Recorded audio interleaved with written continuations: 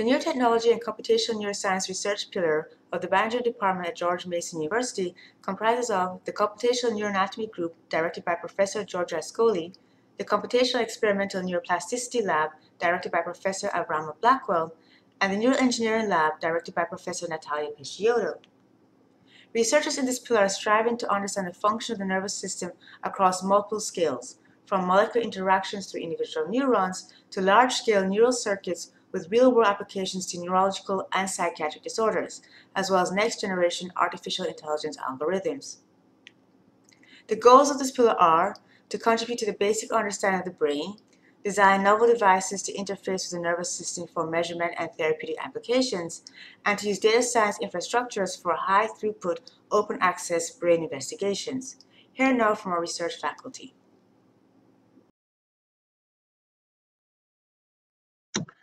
Hi, my name is Giorgio Ascoli, and I direct the Center for Neuroinformatics, Structures, and Plasticity.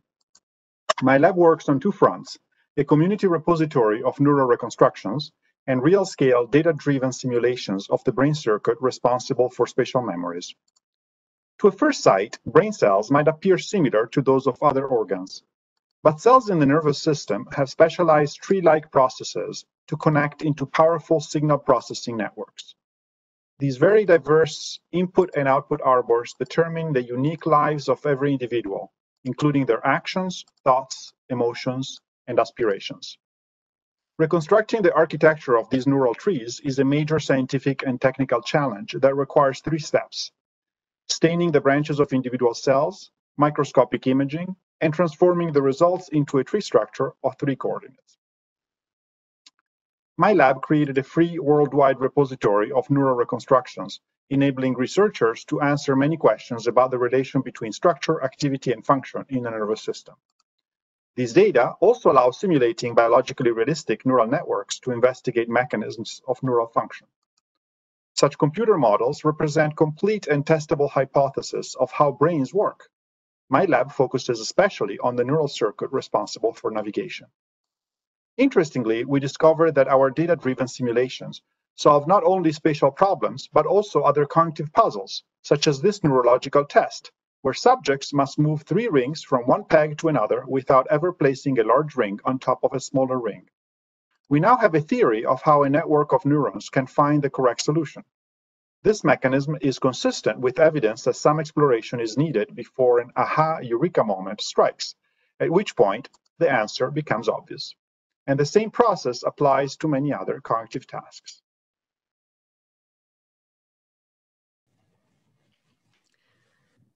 Members of Ken Lab apply computational and experimental approaches to study mechanisms underlying long-term memory storage.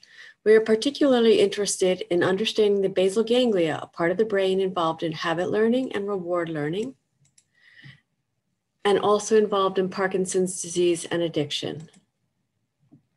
Numerous experiments support that long-term synaptic plasticity is one of the cellular mechanisms underlying learning and memory storage.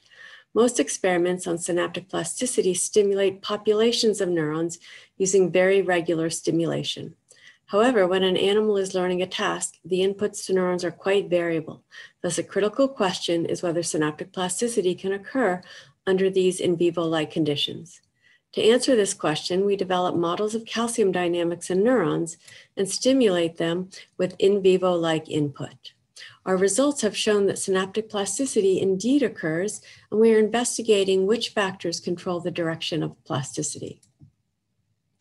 Experiments have also demonstrated diverse molecular requirements, which makes the field quite confusing. Thus, we develop large-scale models of signaling pathways activated by calcium and other neuromodulators. Because these simulations are computationally intensive, we have developed computationally efficient software for modeling these systems. Our most recent results demonstrate that we are able to predict how chronic alcohol changes synaptic plasticity. In the past, synaptic plasticity experiments have been limited to male mice, which means that we have no idea whether female mice learn differently than males. We have started doing experiments in female mice and keeping track of which stage of estrus they are in. Our experiments show that females learn similarly to males when they are not in estrus, but not when they are in estrus. We are currently investigating which sex hormone receptors are involved. Ultimately, our experimental results may shed light on why women are more vulnerable to addiction than men. Our pillar is spread over three main locations on the George Mason University's Fairfax campus the Krasnow Institute for Advanced Studies, the Nguyen Engineering Building, and the Peterson Family Health Sciences Hall. For more information about this and other research areas in the Bioengineering Department, please check out the following websites. You can also take a quick picture or scan the QR codes here. Thank you and have a good day.